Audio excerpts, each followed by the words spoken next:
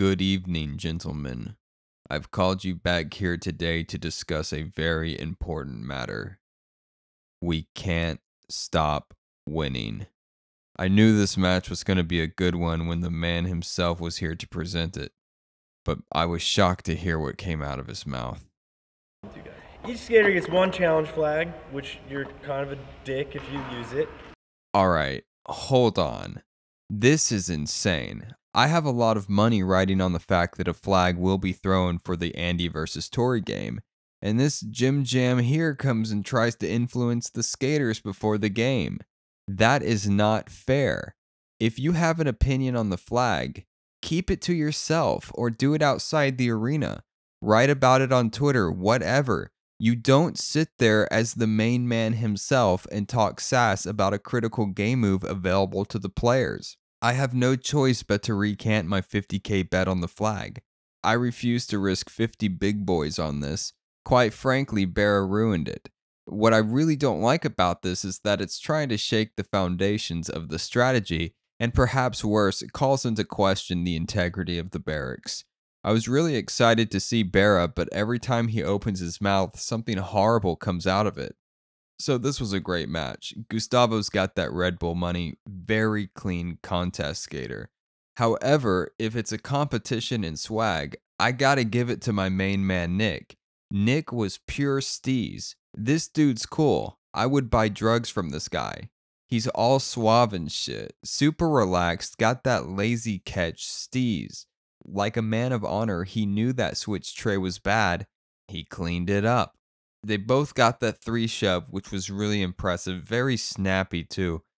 But this is where things went a little bad. The double flips are a lot of people's kryptonite, and unfortunately for Nick, that appears to be the case. He tried to set with a switch double heel, lost his turn. Gustavo sets with a nollie double kick, and he takes a letter. As much as I like Nick in terms of long term betting strategy, you've got to have those double flips down. And if your game is like this, you're going to get chewed up.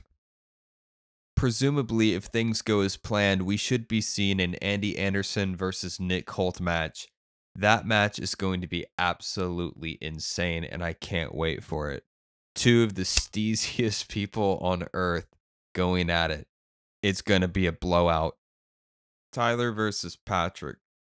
This match was brutal. Patrick was put through the ringer. I can't help but feel empathy for this guy. The last game of skate I played kind of went down like this. I got completely smashed and it hurt my feelings. Tyler, though, you have to give it to this guy. His story is heart wrenching. His father passed away, and in the thick fog of grief, he turned to skateboarding.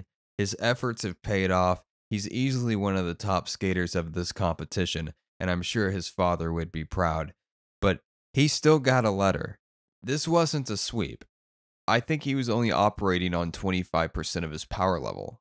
He needs to stay sharp because he's not going to have it this easy again. The most tech trick he did was a forward flip, but it took two attempts. I can't help but think maybe Tyler had some resentment for this, and when he was teaching Patrick how to do the forward flip, if he didn't give him some bunk advice. I absolutely would. That would be the most optimized strategy. If he asked me how to do the trick, I would spit out a bunch of gobbledygook, put some pressure on the toe side concave, flick up to the nose like a varial kick but with more upwards drag, add a bit of scoop to the heel side for the counterbalance of the pop. I, am not going to teach this guy how to do one of my special tricks. I'm going to confuse him and watch as he self destructs. This is battle at the Berrics, guys. It can make your career, it can break your career. This isn't your schoolyard game of skate. This is the big leagues. It's kill or be killed. Good men do bad things in a time of war. We have to accept that and move on. So my forecast for last week, Anderson versus Pudwill, was wrong. I, I completely believe that this is a strategic move by the Berrics.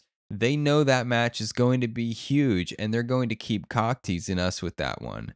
Berra guilt tripping contestants to not throw a flag has me withdrawing my 50k bet. But it's anybody's game now. Who's going to play next? I don't know. It's a surprise. Guys, we are on a hot streak. Take a nice warm bath. My buddies bust my balls all the time. They think taking baths is gay. Guys, don't let that toxic masculinity dictate how you should live. Treat yourself. Take a couple of Zans, slip on into the comfy warmth of a nice bath. And the best part about this is you can now use the Pubboy Bets mobile app in the bath with you at all times.